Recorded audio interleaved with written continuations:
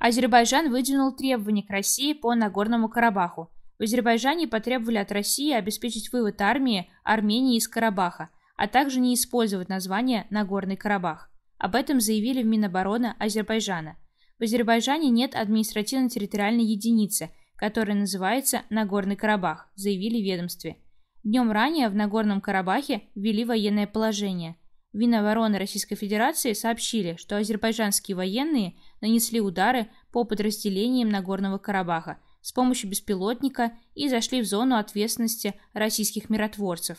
Россия обратилась к Азербайджану с призывом отвести войска.